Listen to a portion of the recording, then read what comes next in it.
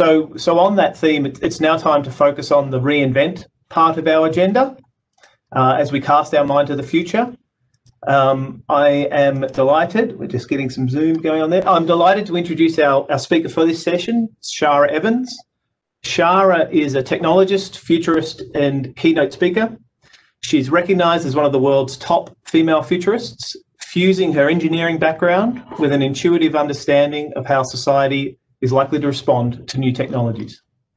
She's the founder and CEO of Market Clarity, an award winning technology analyst firm, and a regular media commentator on technology issues. She appears on a number of TV shows here in Australia Sky News, the ABC, uh, and other Australian commercial channels. She's also appearing on Fox and CW Network's New Life 2.0 science documentary series in the USA and was recently named by Forbes as one of the world's top 50 female futurists. Shara will be speaking for the next 50 minutes or so, and we hope to have some time for Q&A at the end. So uh, we appreciate if you uh, would submit your questions via the chat function. Otherwise, uh, please join me in giving a warm welcome to Shara. Thank you, Chris, and welcome everybody. It is an absolute delight to be with the OMERS team today. Hello to everybody in Australia, Singapore, Toronto, and those of you who may be tuning in from other parts of the world. Today, we're going to have a bit of fun. I'm a futurist, as Chris said, and I'm going to be taking you on a ride into the future, focusing from the near term, where we're at right now, over the next 10 years, and then going out to 50 years and beyond. So let's go on a bit of a ride. Now, I'm used to being in front of live audiences, you know, big crowds of people where I can ask questions and get people to raise hands and get feedback and audience interaction and let everybody see what their colleagues are thinking. Well, in a virtual world, it's a little bit hard to do that. So what I'd like to ask you to do is if I ask you a question, type into the Q&A box your answer so that the rest of your colleagues around the world can see what the people in your team are thinking about a particular topic. Let's have a little bit of fun together and make this really interactive. So we need to start with the here and now. And boy, are we on one heck of a Corona coaster ride.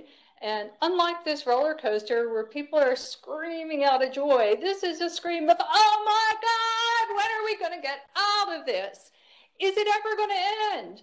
Will lockdowns ever end? Well, luckily here in Australia, We've got some good news. Borders are starting to open up between New South Wales, Victoria, and Queensland next week. Yay! But will we see international travel anytime soon? Well, I don't think that that's on the cards. And, you know, we heard a little while ago from some of your colleagues in Canada, and I was looking at the news earlier today, and I was looking at the COVID cases going up. Not good.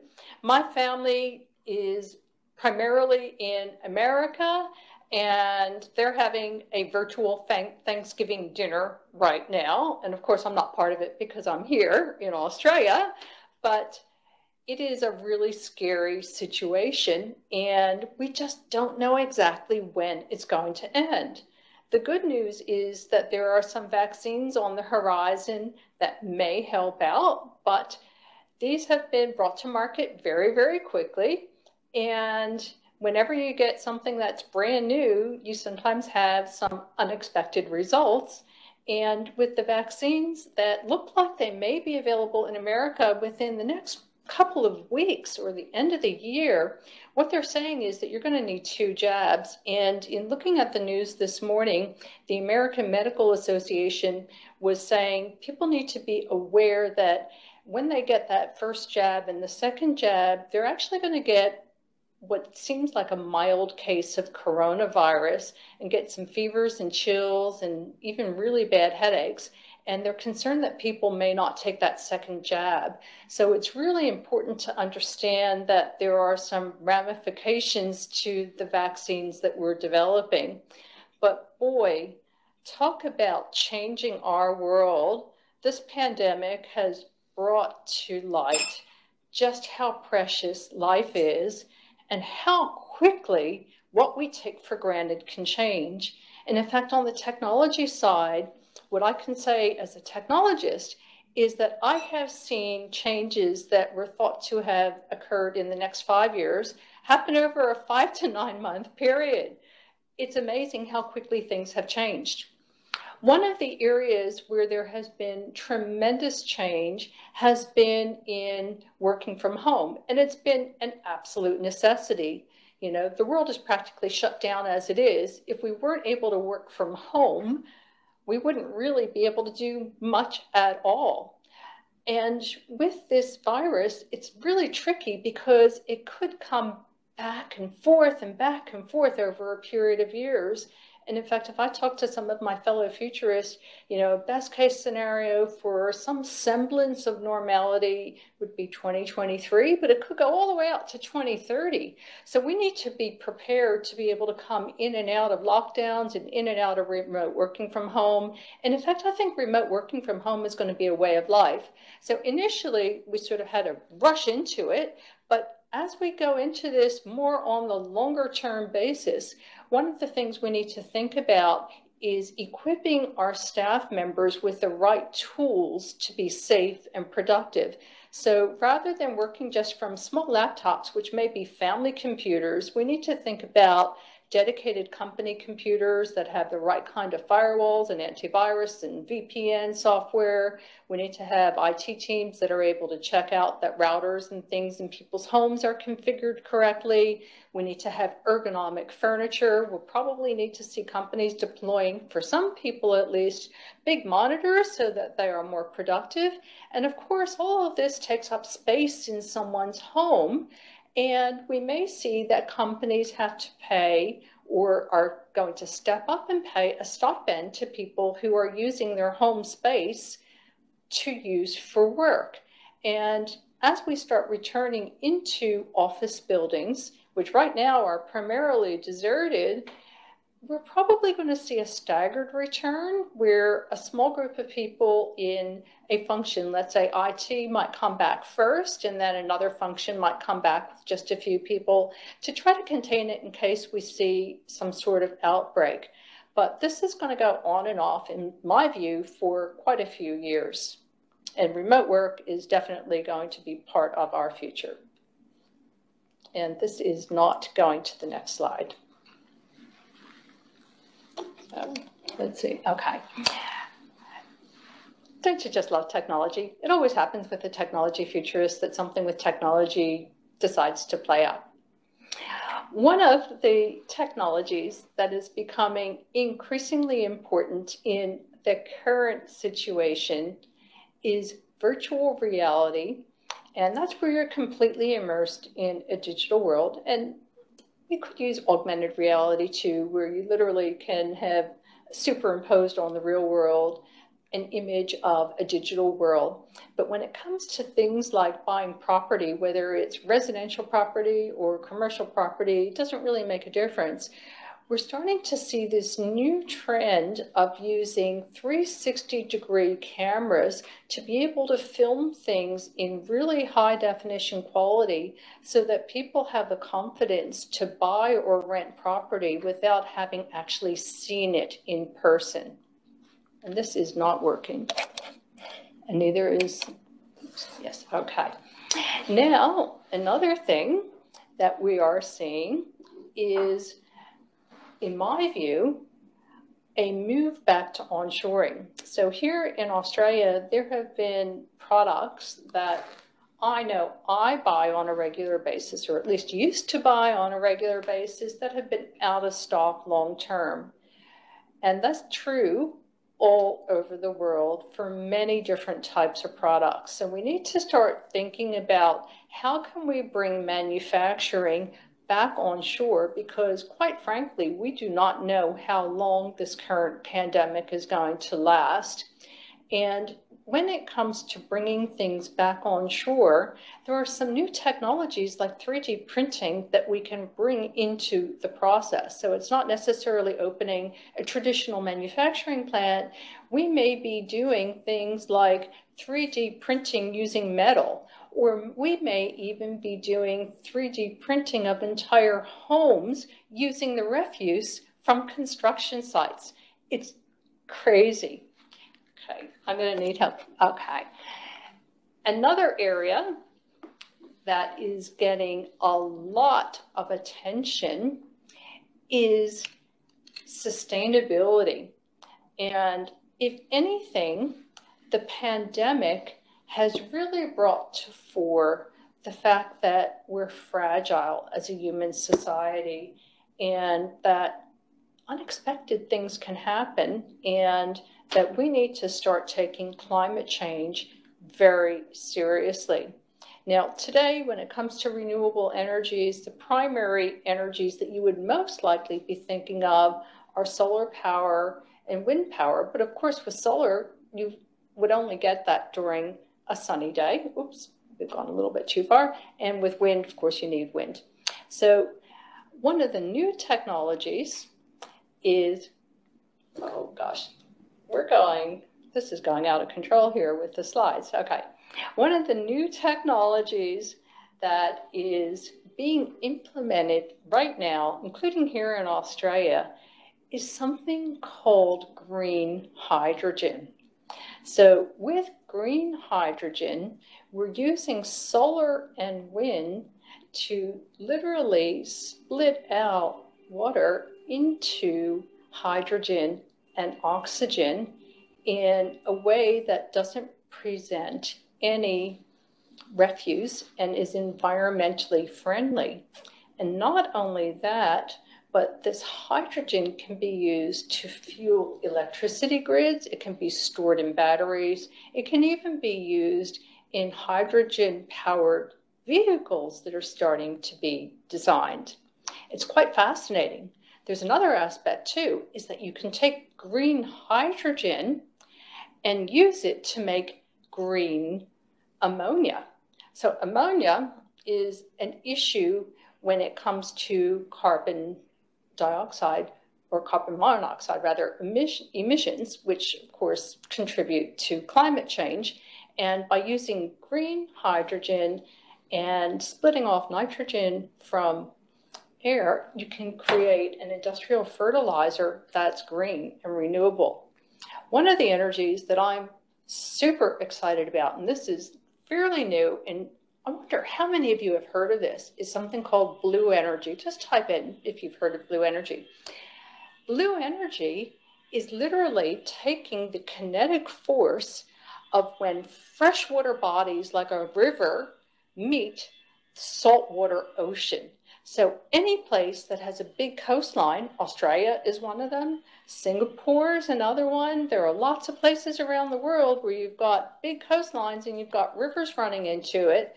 You get kinetic energy when you get the fresh water meeting the salt water. And what you do is you use these nanopore membranes. There's a couple of different techniques, but this is the one that I think is going to be most effective to capture that kinetic energy and then feed it into hydroelectric plants. And the output from this, the only waste product is slightly brackish water. And brackish water means just slightly salty water, so it's environmentally friendly. This is an energy source that's 24 by 7 and is available anywhere in the world, and it's starting to get a lot of attention right now.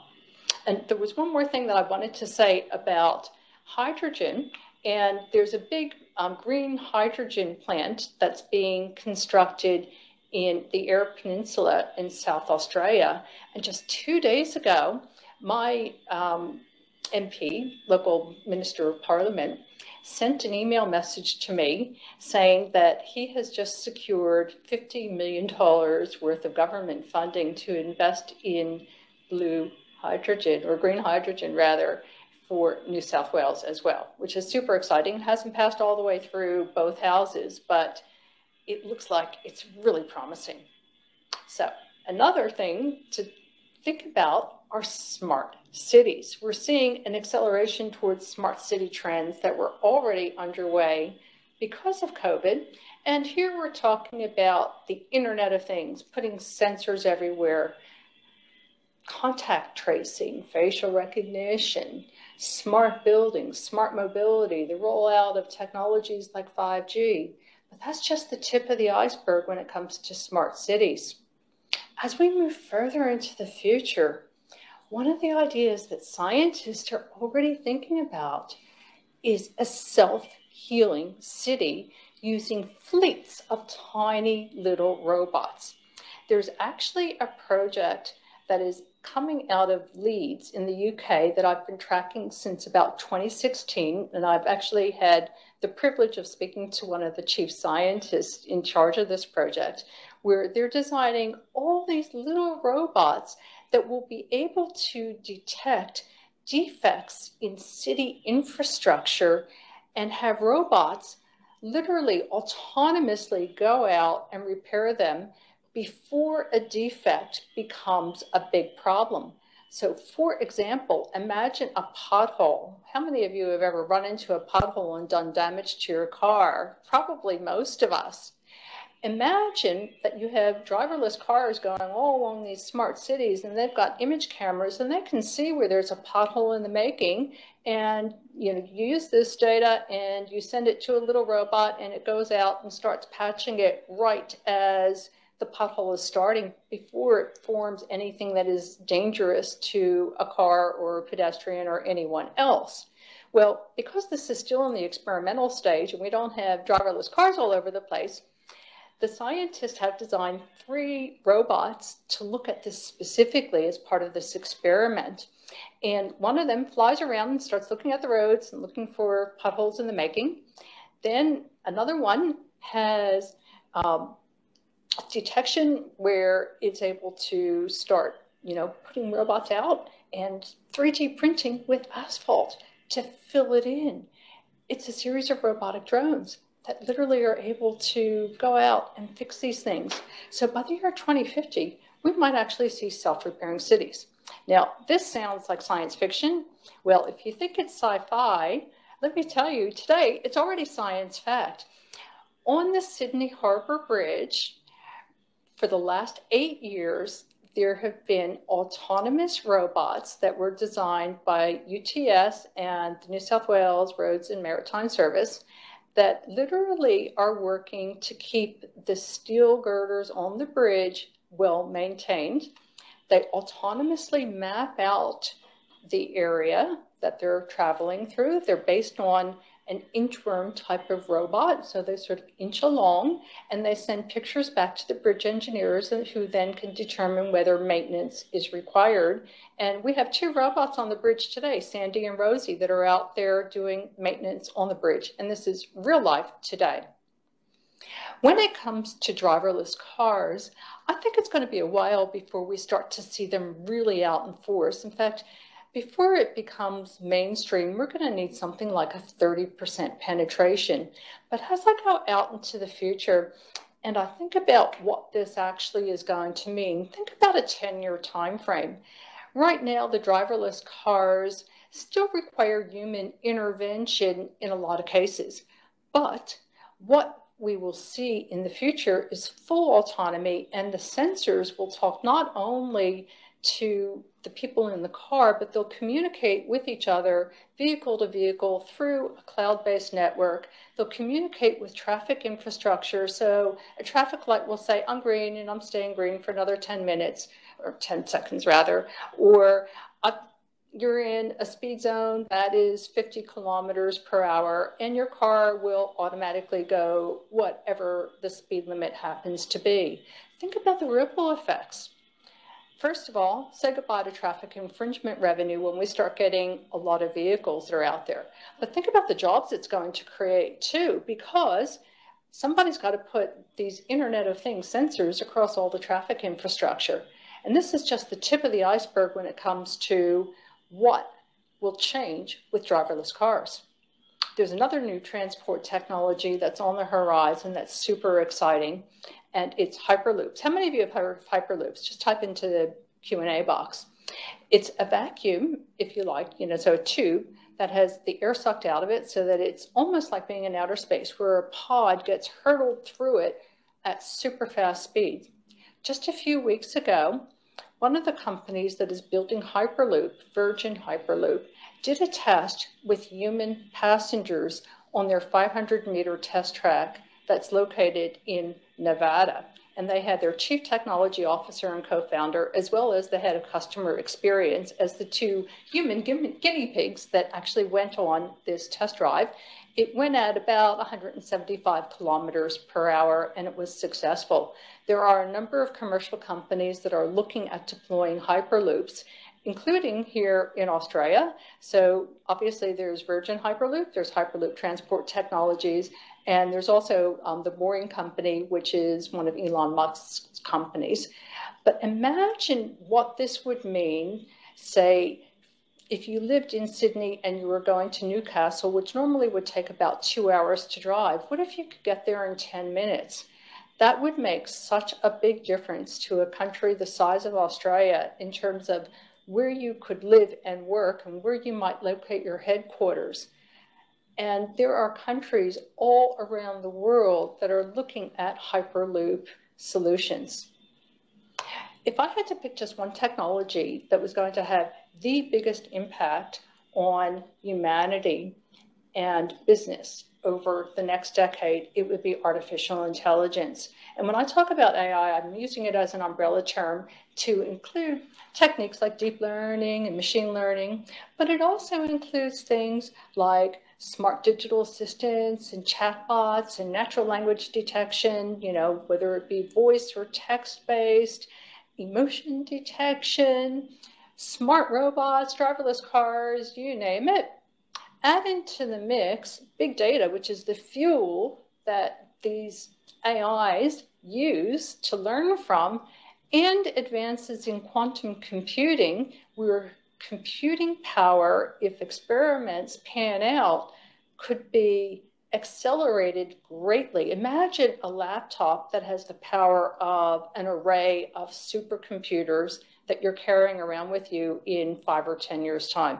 That's the promise of quantum computing. I won't go into a lot of detail, but boy, it could have a major impact.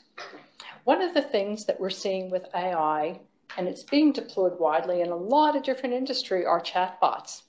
And one that's really cute is called Woebot, and it's designed to help people who are feeling depressed. And of course, with everything that's happening in the world, who isn't feeling a little bit depressed? It was designed by researchers at Stanford University. It's an app that's text based and literally, it's doing cognitive behavior therapy. It's called Woebot, and you can download it for free from the Google um, Play Store or the Apple App Store. It's an example of a text based chatbot. But really, when it comes to AI, the next big thing is going to be voice based chatbots, voice based digital assistants, your kids and grandkids are going to expect to walk up to any object and be able to talk to it. I'd like to share a funny story with you, and some of you will relate. How many of you have devices at home like um, an Alexa or maybe Google Home? You know, just type your answers in, you know, let's get a sense of who has what. In the UK, there's an African gray parrot called Rocco that is a fantastic mimic. It's one of the qualities of these types of African gray parrots, and it mimics its owner's voice to a T. And it found that it can use its owner's Amazon Alexa to order treats for itself. So it every day orders things like watermelon and ice cream and you name it. And it sounds just like its owner. so every day his owner comes home and has to check what's on the shopping list and do a cancellation.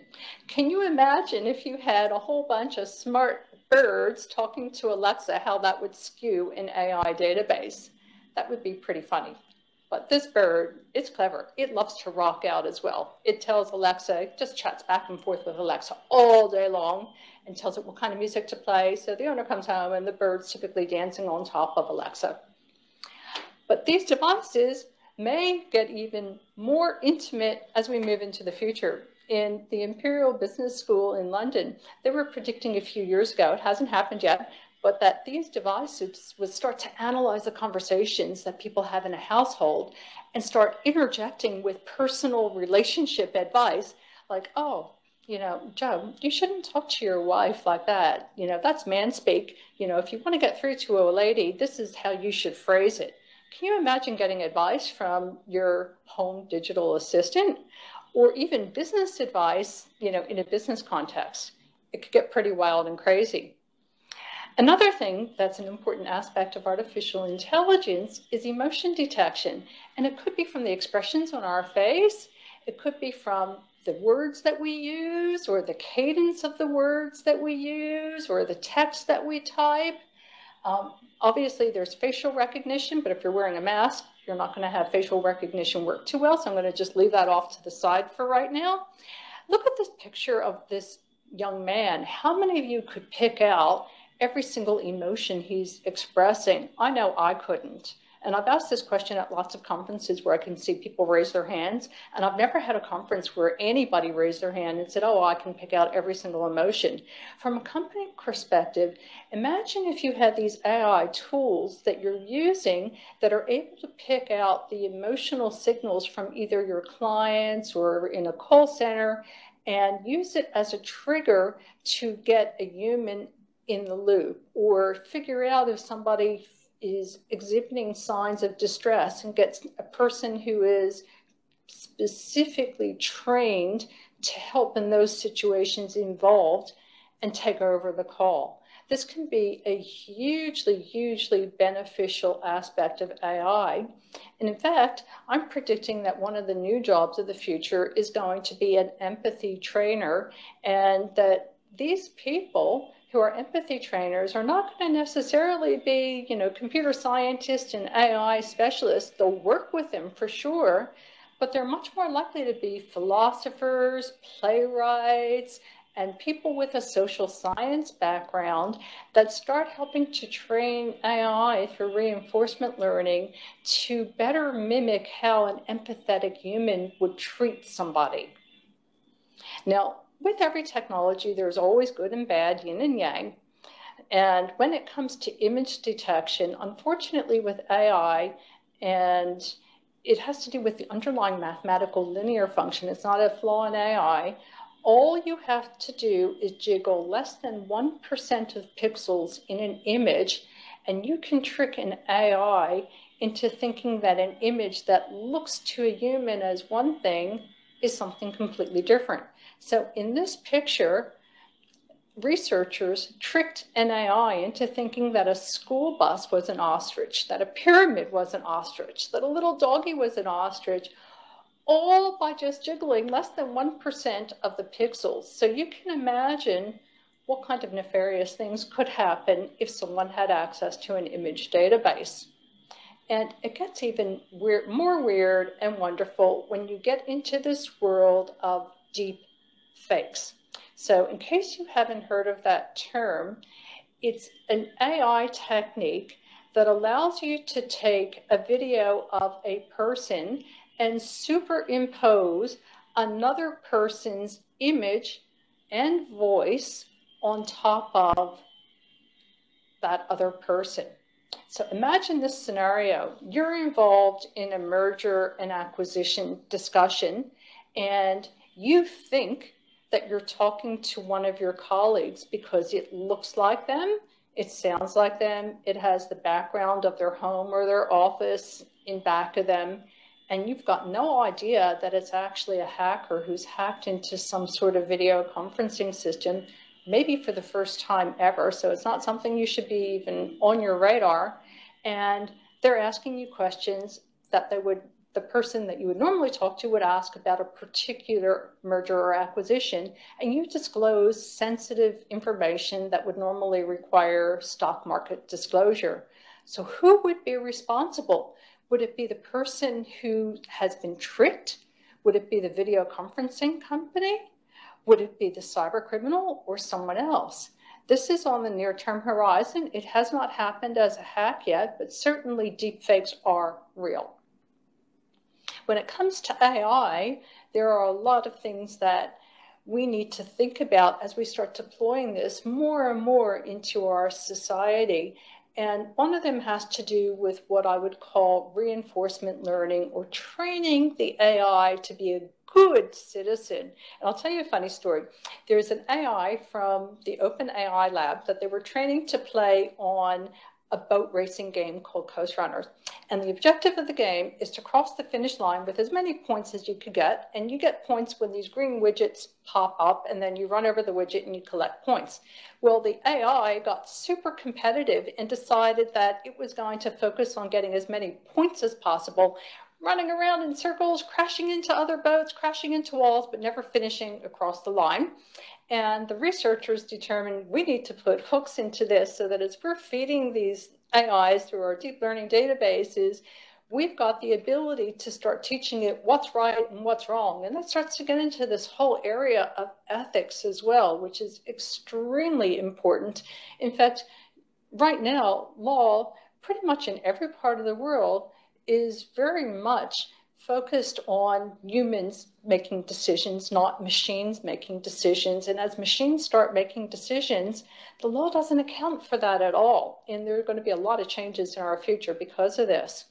Now, another aspect that's really fascinating when it comes to AI is robots. This is the physical instantiation of AI, and they're going to take lots of shapes and forms. We're already seeing humanoid robots, being used for elder care. They're being used as concierges in retail and all sorts of places. But they take lots of shapes and sizes. It's not just humanoid. This is an example of a robot called a BioArgo that is being deployed in the Indian Ocean to look at the growth of plankton. And it's able to go two kilometers deep. It was designed by CSIRO, which is a scientific organization based here in Australia and it goes two kilometers deep and then surfaces and sends data up to satellites. And it's able to cover an area 10 times the size of the continent of Australia, which is pretty big. So that's an example of a robot you may not have heard of. Another example out of Australia, but being deployed all around the world, are robots in agriculture.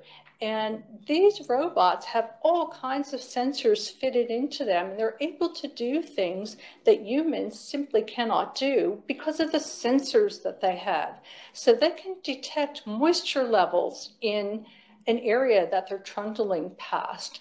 They can detect pests, they can detect fungus, they can detect whether there is a plant that is ready to be harvested. They can do things like help buds on a plant so that they can estimate crops.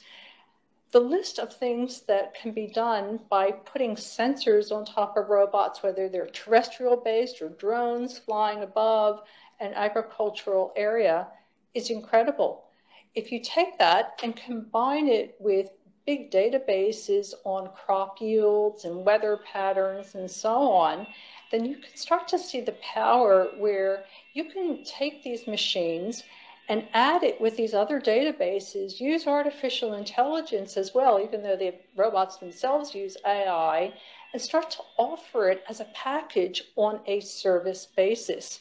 And in fact, I think as we start looking over the next decades, we're going to see robots as a service in lots of shapes and forms becoming one of the big service areas because robots are expensive, they still need to be programmed and trained, and a small farm owner is not going to be buying a fleet of custom purpose robots, nor will people in a lot of different industries that robots are designed to do very, very specific tasks. Health is another amazing area where we are seeing tremendous advances. And it's this combination of medical advances and technology smashed together that is creating some amazing opportunities for humanity. One of the areas that I really like is augmented reality, and many of you have probably heard of it.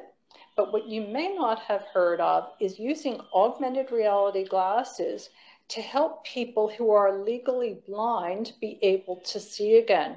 So this particular project started out of Oxford University and then became a startup and is now a full-fledged company called Oxsight.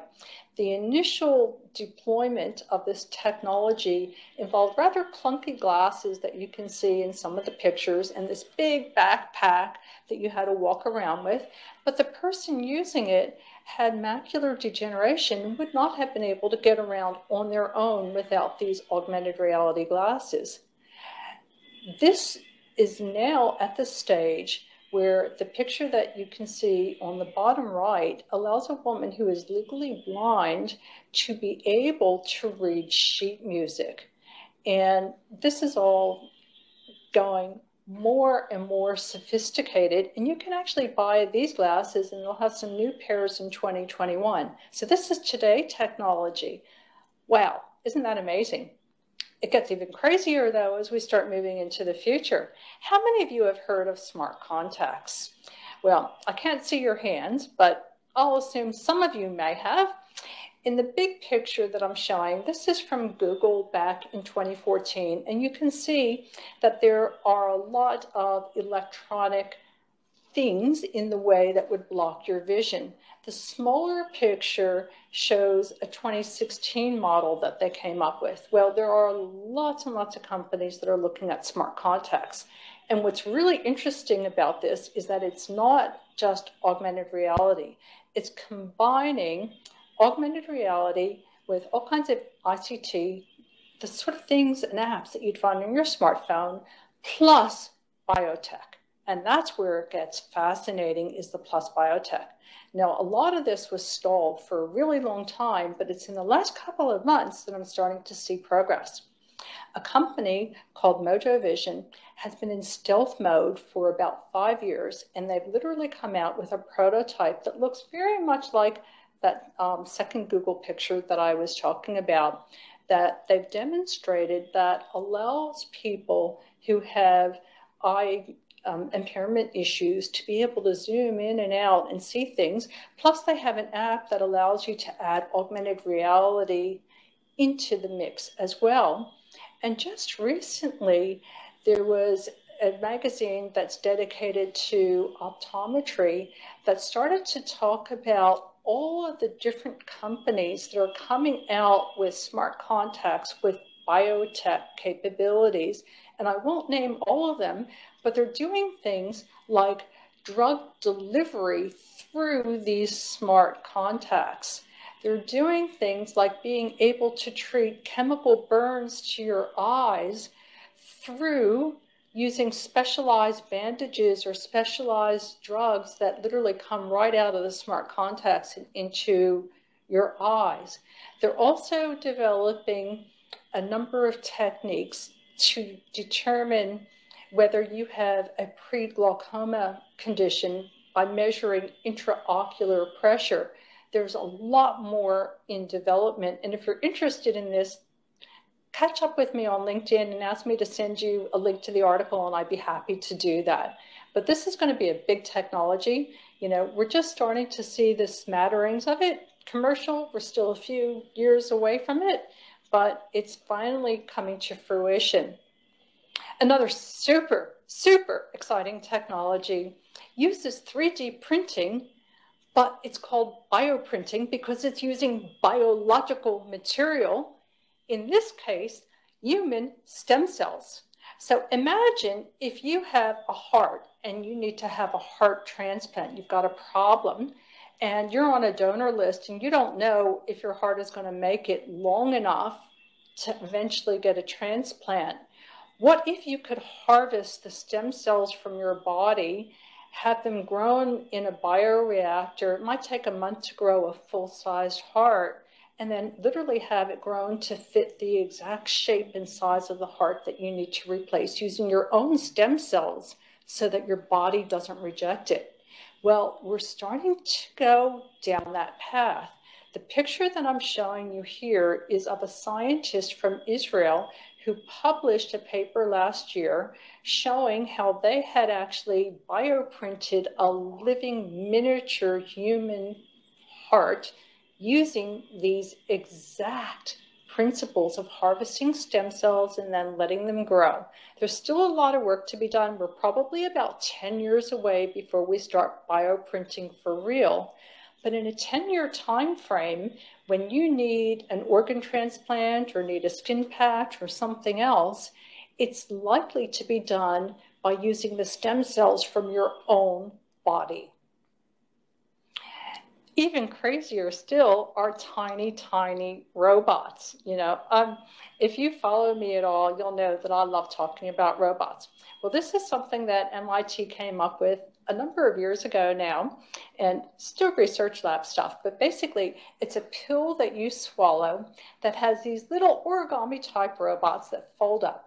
And it was designed to help people who've swallowed button batteries. And I don't know why, but people somehow manage to do this on a regular basis, you know, adults and kids. And unfortunately, the button battery can get lodged in your esophagus or your stomach, and trying to get it out through traditional surgery is really dangerous.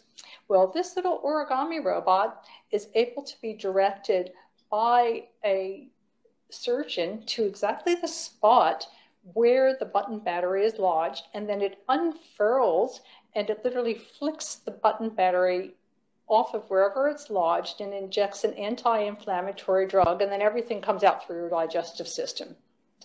This is where the future of medicine is heading, but it's going to get even funnier and crazier and more exciting when we get to nanobots. Now, this is um, a picture that was released last year from a study done at the University of Pennsylvania. And these super tiny little nanorobots, and by the way, there's some that are a lot, lot smaller than this. They look like little bugs. They're made out of glass, but they have a silicon wafer on top. And with that, they've got solar cells that allow these four little legs that they have to move. In fact, it reminded me a bit of an ant. But I like this picture because it gives you an idea of how small this is in relation to a virus. Now, you know where I'm going to go with this, right? So, the way that this particular one works is that to get the legs to move, you actually take a laser and you shine it on the solar panels on top of these little nanobots and it gets the legs to move and it moves around. Unfortunately, the laser can only penetrate about the width of a fingernail right now, so it's not really all that useful. But what's even more interesting is an experiment that was published in a paper about two years ago, a collaboration between one of the nanotech institutes in China and Arizona State University, where they took DNA rolled up that was targeted to a particular type of tumor and coated it with a protein that was able to detect a specific type of cancer tumor. And as soon as it detects it, it unfurls and injects a blood clotting drug, literally starving the tumor of blood supply and causing the cancer tumor to die. That's called precision medicine. So now take this principle and apply it to coronavirus, which of course is a teensy tiny little virus. Imagine having these little nanobots that have coatings that target coronavirus. And as soon as it finds coronavirus in your body, guess what? It just specifically attacks the coronavirus in your body. There are already researchers in Japan that are starting to look at this right now. Imagine if we put something like this on warp speed, we might actually wipe coronavirus off the face of the earth once and for all. Imagine what the future will hold with these little nanobots. So initially, these teeny tiny little robots will be targeted for specific medical conditions, but eventually talking 20 year time frame, they're going to be out there in sitting in our body looking around and scouting like detectives. Where's the defect? Is there anything wrong? Oh, I see something that needs repair. I'm going to go and fix it. And it will start to keep you healthy before anything has a chance to actually catch hold in your body and become a disease. But like anything else, what do you do if something goes wrong? Well, you're going to need a new job of the future called a nanomedic who's going to be able to go in and fix this kind of stuff if something goes amiss. And inevitably, as with any kind of new technology, things will likely go amiss and you would be calling your nanomedic for help. Oops, going to the next one. And what is the future of health going to look like? And do we have the possibility of maybe even living forever? Well, nanobots are really exciting, but so is genetic engineering. And in fact, there have been experiments over the last number of years where geneticists have started to identify ways of reversing aging in human cells and in living mice with a disease called progeria, which is this rapid aging disease. And they've done it in a live mouse where it actually went younger again. So fast forward a little bit. Imagine that we have this technology where let's say we're in our 50s or 60s and we decide, you know what, I think I'd actually like to have my body back, you know, at 20, but keep, you know, all the wisdom that I have, or whatever age you pick. And suddenly you can start reverse aging. Well, as if that isn't enough, what happens when we identify the gene pair that actually controls aging? This is where it's going to get really weird and wacky because there are scientists who believe that it's really just a matter of time before we do.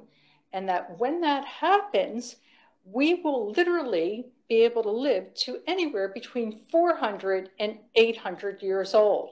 So imagine this. Can you imagine working until you're 400 years old? What about being married to the same person for 800 years? Well, I don't know about you, but my interests just in my lifetime have changed substantially. I can just imagine what I might be like 800 years from now.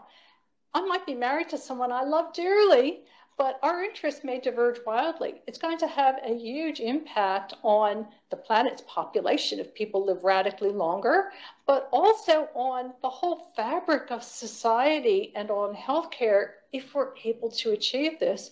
And early experiments show that it is likely. Genetic engineering is one of these cutting edge technologies that has so much potential, including curing very, very specific diseases.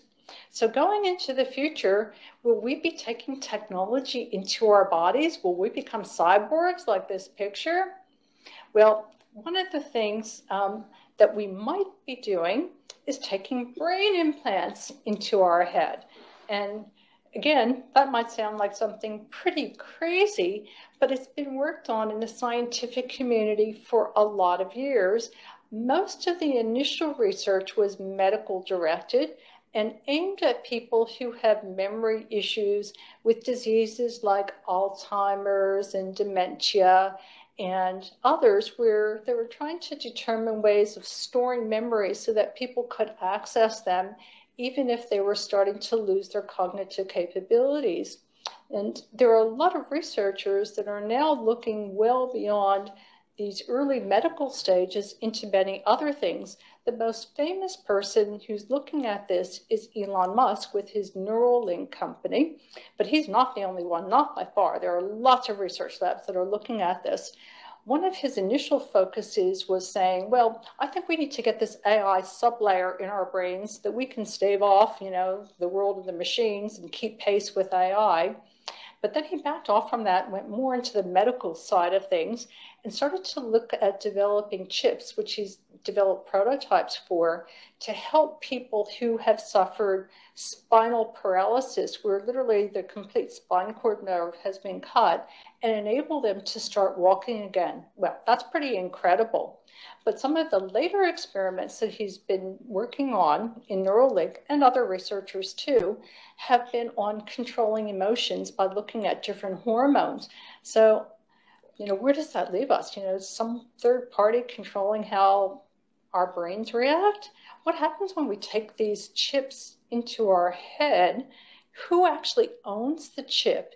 And how does the chip that might be in our head determine the difference between an actual intention and a fleeting thought. So, for example, if you were driving and somebody cut you off on the highway and it was a near miss and you got scared, you might have a fleeting thought somebody should rear in that so and so.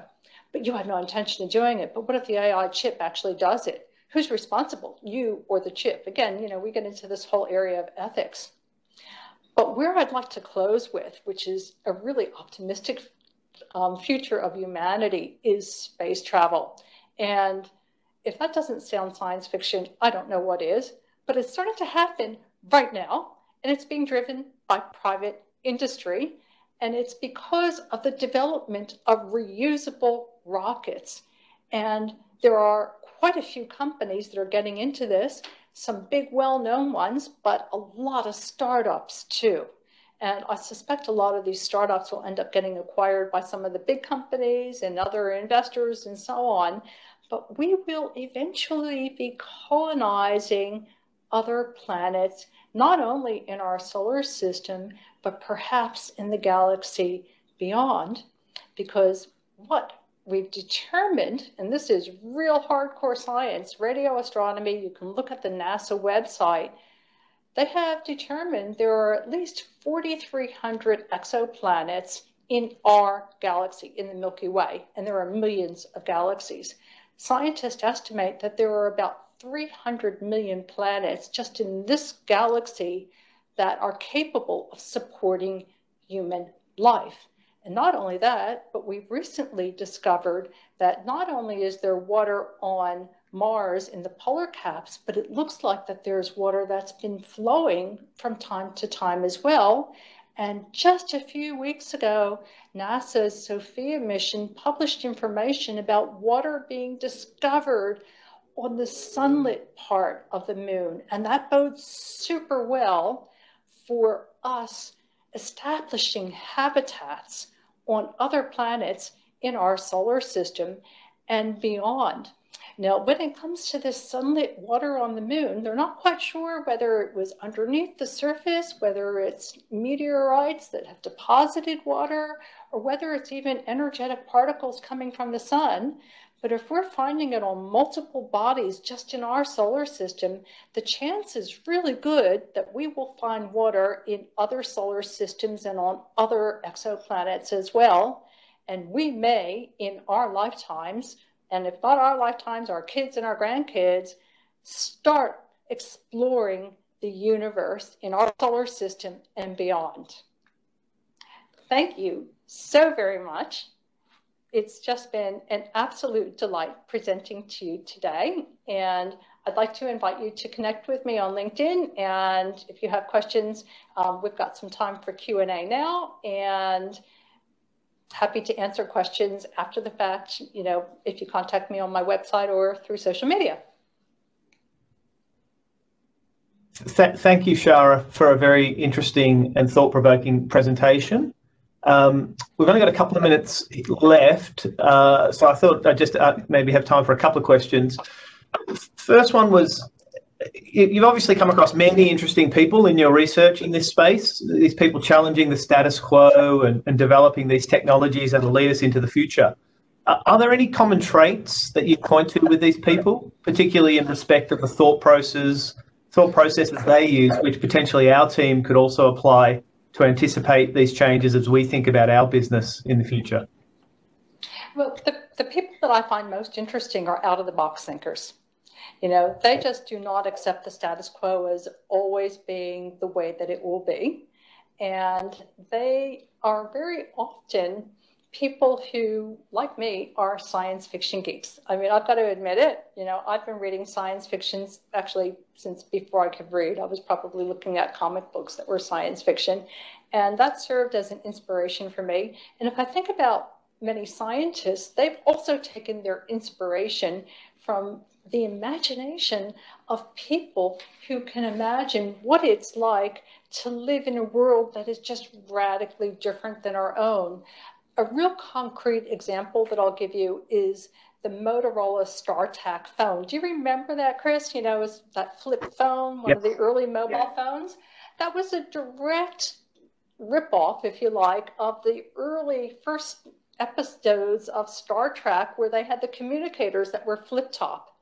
And that was inspired by science fiction. Arthur C. Clarke talked about satellites, and that literally started satellites. You know, so a whole bunch of things have been invented by people who have amazing imaginations.